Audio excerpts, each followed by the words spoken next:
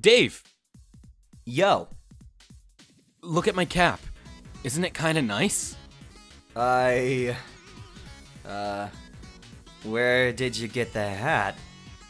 Jake gave it to me. Though, I guess he meant it as an ironic gift. But don't tell him this, but I actually think it's pretty neat. I- I'm happy.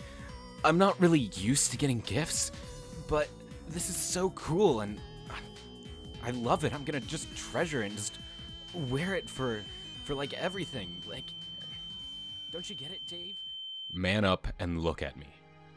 Dave. Uh. Are you seriously trying to run away like that? Dude, it's not even ironically funny. You're not a hero. How many times do I have to tell you? Can't abscond, bro. Dave. Dave?